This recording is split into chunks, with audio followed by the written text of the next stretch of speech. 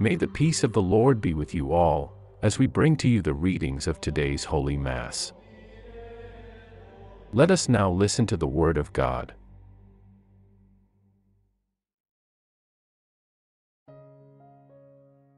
August 30th, 2024.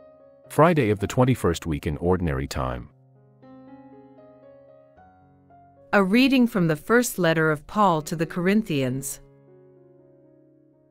Brothers and sisters, Christ did not send me to baptize, but to evangelize, not through the wisdom of words, lest the cross of Christ become empty. For the word of the cross is certainly foolishness to those who are perishing. But to those who have been saved, that is, to us, it is the power of God.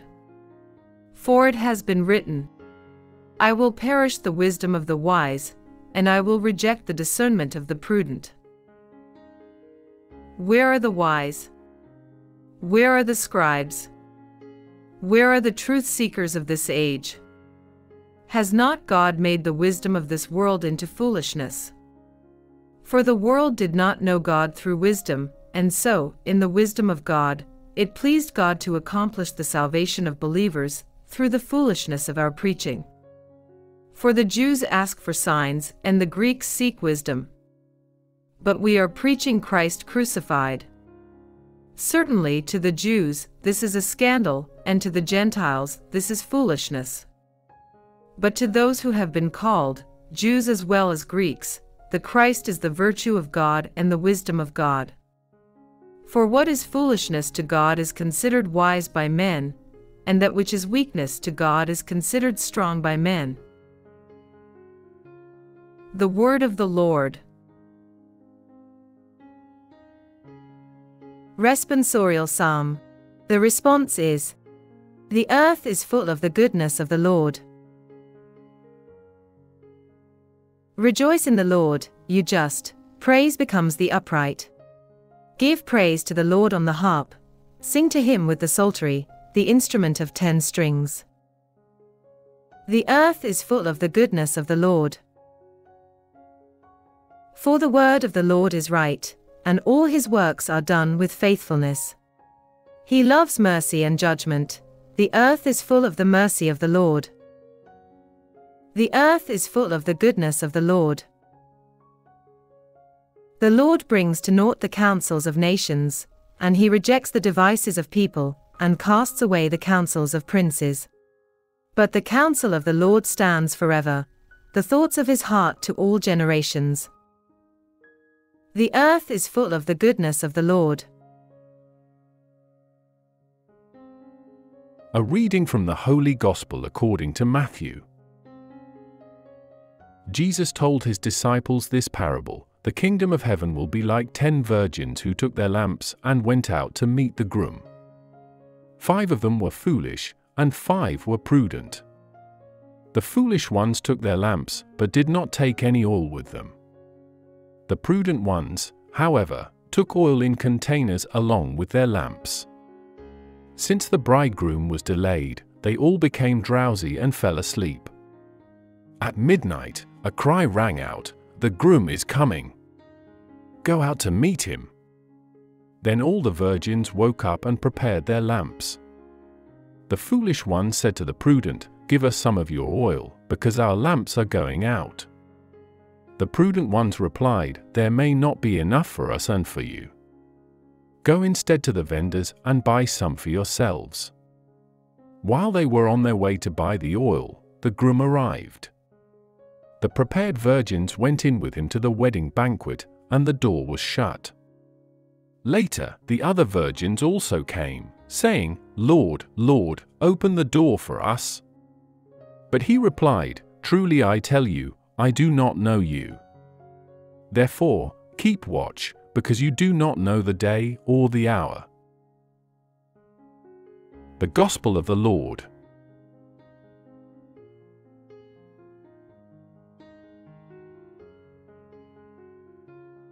Reflection How are you preparing your heart and actions to truly show love and charity, just as the wise virgins prepared their lamps? Jesus told his disciples this parable The kingdom of heaven will be like ten virgins who took their lamps and went out to meet the bridegroom. Five of them were foolish and five were wise. Matthew 25 verses 1 to 2. The ten virgins in this parable refer to the bridesmaids who were following Jewish tradition by going to the home of the bride to await the coming of the groom for a wedding. This parable is one of a few parables Jesus told that emphasizes the importance of being vigilant in our Christian walk. As the parable goes on, we are told that the groom was delayed and that the bridesmaids fell asleep. Upon waking, the foolish ones had no more oil for their lamps and had to leave to get some more. When they returned, they discovered that the groom had already arrived and that the door was locked. They then knocked and said, Lord, Lord, open the door for us. But the reply came to them, Amen, I say to you, I do not know you. And they missed out on the wedding celebration. Traditionally, the oil has been understood as a reference to charity. The message is simple. As we prepare to meet our Lord in heaven, it is not enough to make the claim that we are Christians. We must also produce the good fruit of charity by our actions. Faith must result in charity, otherwise, it is not true faith at all. This parable should be taken seriously. We should use it as a regular source of examination of our lives in regard to the charity we have or do not have. When you look at your life, can you point to regular acts of charity that flow from your love of God and are bestowed upon others? Charity is not based on your preferences in life. It's not based on what you feel like doing. Charity is always selfless and sacrificial. It always looks toward the good of the other. How much charity is alive in your life? Jesus clearly told this parable because he was aware of many who professed a faith in God but did not live the love of God. It's very easy to live our lives day in and day out, doing what we do because of our personal likes or dislikes. However, it is very difficult to foster true charity within our souls and to regularly choose to love others because it is good for them. We must work to foster charity, first, in our thoughts. Critical and condemning thoughts must be eliminated, and we must strive to see others as God sees them. Charity must also direct our words. Our words must be encouraging of others, kind, supportive, and merciful. Our actions become charitable when we become generous with our time, go out of our way to serve, and are diligent in the ways we express our love of others. Reflect today upon the high calling you have been given to live an active and manifest life of charity. Spend time reflecting upon what charity truly is. Have you allowed yourself to become guided by a more secular and selfish form of love? Do you act more out of selfish preferences than out of self giving and sacrifice? Do you truly build people up and witness the love of God to them? Try to answer these questions seriously. This parable spoken from our Lord is much more than a story. It is truth. And the truth is that some will arrive at the day of judgment without the necessary oil for their lamps. Take our Lord seriously and examine your life of charity. Where you are lacking, become fervent in your mission to change.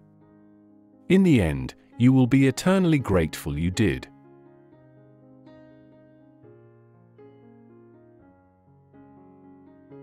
Let us pray.